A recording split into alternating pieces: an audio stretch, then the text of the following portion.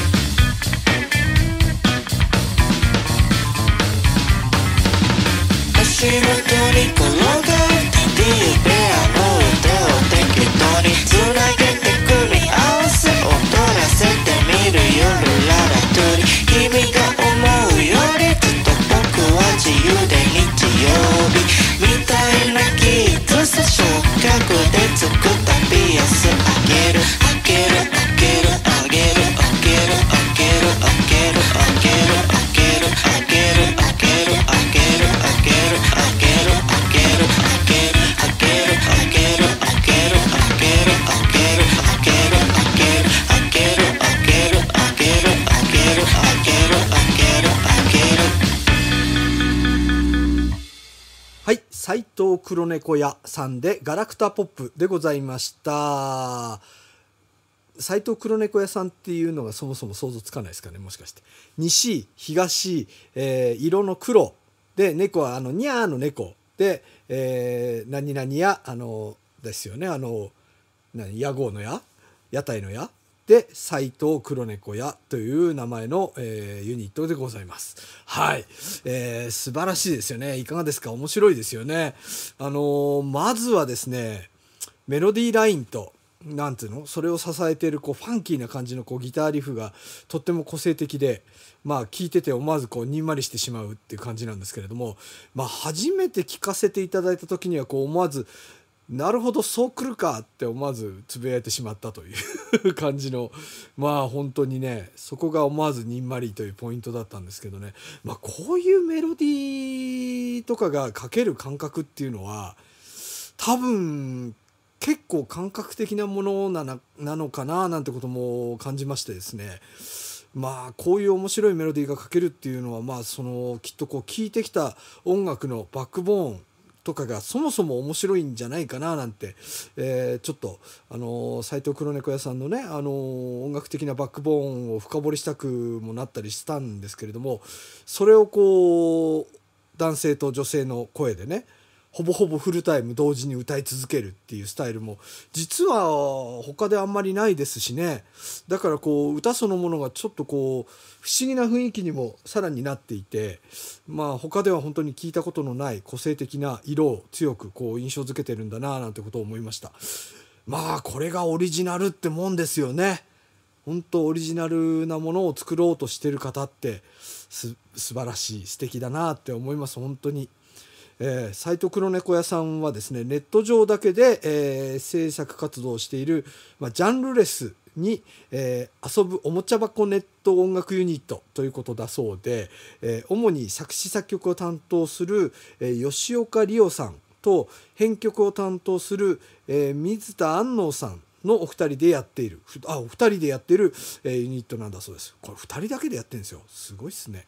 で頂戴したこうプロフィールによれば、えー、ジャンルを飛び越え変幻自在とか次回作が予測できない予想できないオリジナル楽曲とか現代っ子なとか、えー、ジャンクでポップでカラフルというようなですね。まあもう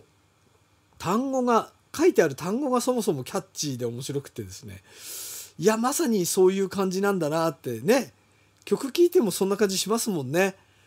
もう時々言いますけどねプロフィールにものすげえ力の入った言葉が並んでるけど実際の音は全然そんなことないみたいな人いますけど。斎藤黒猫屋さんはまさに言葉通りいやまあまあそれ以上の音を面白い音をね出してらっしゃるユニットなんだなと思いました本当に、えーまあ、今回オンエアしました「ガラクタポップ」という曲は、えー、iTunes、Apple Music、ギャオストア、えー、レコチョク等でビデオクリップ限定で配信中ということなんですね。でさらに、えー、マジカルミステリージュースとい